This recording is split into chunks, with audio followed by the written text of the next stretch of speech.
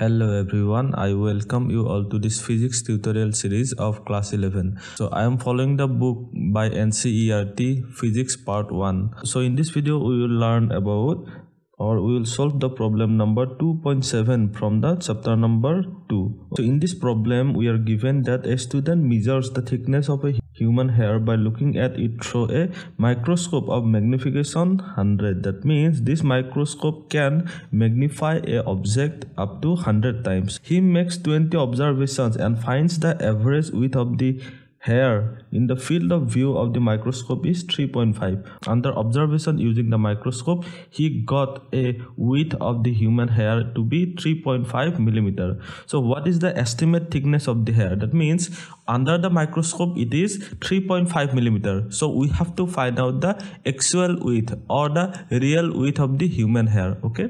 So first of all let us write down what are given parameters. So we are given that this microscope can zoom or can magnify a object up to 100 times okay?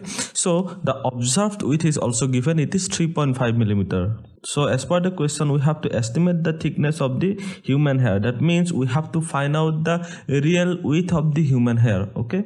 Magnification is equal to so observed width it is the observed width divided by the real width.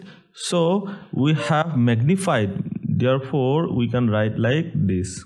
That means whatever be the magnification factor that will be equal to the observed width divided by the real width. Okay? So from here we can find out the real width. So real width of the human hair we can find out using this formula. Real width is equal to observed width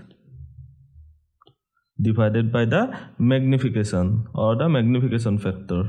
So using this formula we can find out the real width. So observed width is 3.5 millimeter and the magnification is 100 times. So the real width will be 0.035 millimeter. So this is the actual width of the human hair so this is the solution of the problem number 2.7 thank you for watching. If you have any question please put it in the comment section below. Also like share and subscribe to my channel. Thank you